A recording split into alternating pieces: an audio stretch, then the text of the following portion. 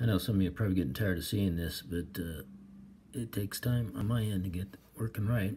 So this test here is to show uh, that even with just one side threaded and the other just sitting there on the guide rods, it works perfectly fine.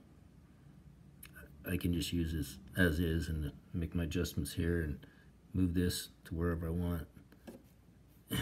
and we're good to go. So anyhow, here goes the next test, just to show you that aspect. Tape here to show you that the lines are moving, being fed just perfectly.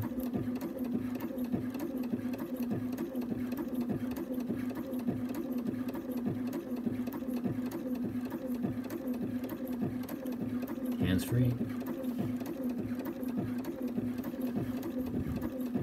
Secured to the arm.